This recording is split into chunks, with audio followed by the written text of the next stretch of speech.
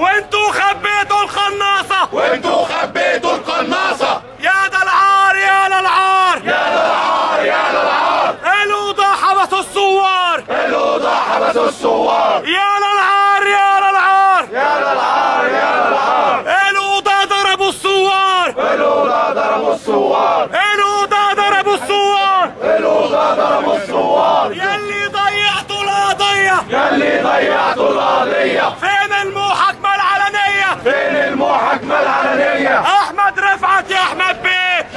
رفعت يا أحمد بيه ضاع حقي ولا إيه؟ ضاع حقي ولا إيه؟ ضاع حقك يا شهيد. ضاع حقك يا شهيد. ثورة ثورة من جديد. ثورة ثورة من جديد. وشدي حالك يا بلد. شدي حيلك يا بلد. الشعب أسياد البلد. الشعب أسياد البلد. وشدي حالك يا بلد. شدي حيلك يا بلد. خلف دار القضاء العالي من الخلف.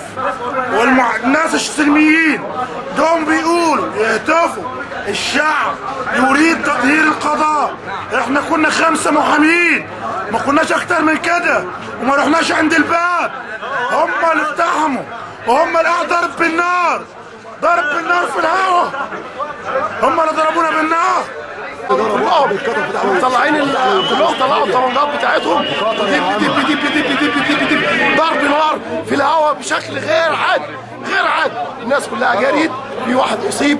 أصيب إزاي؟ وقف للقضاء وعمل لهم كده. كان معانا في التحرير. القاضي قام مطلع الطبنجه من جيبه وقام مديها له هنا.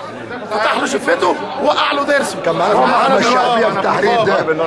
ده كان معانا ضرب النار الشعبية كان. جوه من جوه ضرب قضاء كلنا مع بعضنا. من جوه ضرب قضاء يضربوا بالقطر خلينا يفتحها له إحنا كنا واقفين باب بقى؟ الخلف كل القضاة طلعت. دخل في الواسطه والمحسوبيه والرشاوي كل القضاة طلعت. ال- ال- الطبنجات خريج كليه حقوق. جايب امتياز هياخد ابن الساعة وقاموا ضاربين وقاموا ضاربين نار. هو ده اللي هو ده كل اللي حصل اتصلنا بالمحامين المشكلة هي مشكلة اتصلنا بالمحامين المحامين كلها جت. الشعب اللي كان في التحرير كله جه واقف مع المحامين وتضامن مع المحامين عشان يطلع أحمد الزند في التلفزيون؟ يقول الشعب هم دول كانوا معايا في المحكمه الشعب عايز الشعبية. هناك. الشعب عايز يقدر لا. مشكلتنا مع محمود حسني مبارك وإحنا اللي نروح عشان نطهر القضاء والناس كانت واقفة معانا هناك. وطلبنا تطهير القضاء يطلع يضربهم بالقطر ويفتح حنك الراجل كده ويضربه بالنار بلطجية دولت بلطجية النظام زيهم زي حسني مبارك. لازما يتعمل فرن زي بتاع هتلر حطوا فيه عشان ينتهوا منهم. القضاء إيه؟ أهو. ورا جار قرار رئيس الجمهورية بتشكيل مجلس الاعلى لتسهيل الخدمات في وزاره الطيران. خلي بالك من الكلام.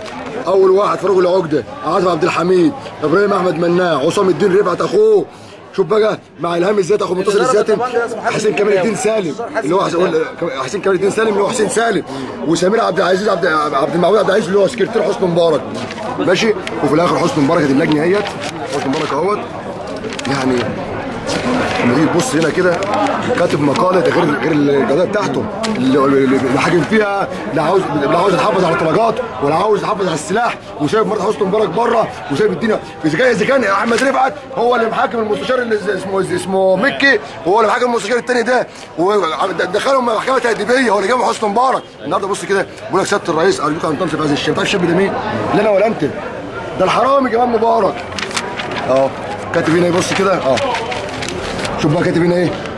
وراء هذا المشروع يقف شاب يعطي بكل صدق وتواضع وأدب شديد. خلي بالك أدب خلي بالك من الكلمة دي. يعني ما كانش ما, كانش ساعة ولا حاجة إحنا كنا وصيه وإيمان عميق برسالته. أرجوك نرجوك أن تنصف هذا الشاب. يعني ماشي واحد غلبان ولا ولا, ولا مش لاقي حتة يتجوز ولا كلام من ده. اللي هو مين الشاب؟ الشاب اللي هو الشاب. الشاب الطروقه اللي هو اسمه جمال مبارك ابنه. كان بيجري في البلد. ماشي؟ إن أنا أعلم علم اليقين قرارك بأن تبعد العمل لهذا الشاب عن السياسة. ولكنني أعلم أيضا بنفس اليقين. إنك دوما حاكم عادل. خلي بالك يعني ما سرقش البلد وصلت للناس. وأخاطب وخاطب العدل. الراجل عادل يعني هو القضاة. في شخصك الكريم لا أن تنصف هذا الشاب. يعني ما نصفش عشان اخو شقة. ده نصفه عشان يمسك رئيس الجمهورية. يسرق يعني. وكتب في الآخر إيه؟ وهذه هي شه... خلي بالك الكلام ده أخو القاضي. وهذه هي شهادتي أمام الله وامام الوطن. ده شهادة. يعني إحنا الحرامية وهم اللي كانوا بينصبوا على بعض. يبقى النهارده أنت بتطلب تطلب إيه؟ ده النهارده المفروض دم بدم ويخش يقطب مجزرة عليهم جوه. بس الكلام. المفروض يتعمل لهم فورم زي هتلر ويحطوا فيه عشان الدنيا تنضف. بس. محسن باتع محمود المحامي بداية ما حدث اليوم من القضاء أيا ما كان تبريره وأيا ما كان المبرر له أو السبب فإن دل فإنما يدل دلالة قاطعة على أن القضاء في مصر ليس بخير. فإن القضاء في مصر لم يحترم إرادة الشعب المصري حينما أراد أن يمرر قانون في غيبة الرقابة الشعبية المتمثلة في مجلسي الشعب والشورى وأن يقتنص لنفسه دون النظر عن طموح الشعب ومطالبه